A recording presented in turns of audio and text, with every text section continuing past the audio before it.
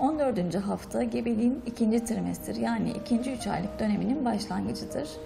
Vücudunuz artık gebeliğe uyum sağlamıştır. Bebeğiniz de oldukça hareketlidir. Ee, Normal hareketlerin dışında nefes alıp verme hareketleri de yapmaktadır. Bu nefes alıp verme sırasında akciğerlerin içine amniyotik sıvı alınıp boşaltılır. Amniyotik sıvı akciğerlerin içindeki hava keseciklerinin gelişimi için şarttır. Gebelik hormonu etkisiyle e, düz kaslarda meydana gelen gevşeme anne adayımızda bel ağrısı, kabızlık veya tansiyonda hafif düşüklüğe sebep olabilir. Bunlardan özellikle kabızlık ciddi bir problem yaratabilir. Peki kabızlığı önlemek için ne yapmak gerekir? Öncelikle lif ağırlıklı beslenmeli, bol taze sebze ve meyve tüketilmeli. Günde en az 2 litre sıvı alınmalı ve yürüyüş gibi hafif egzersizleri ihmal etmemelidir.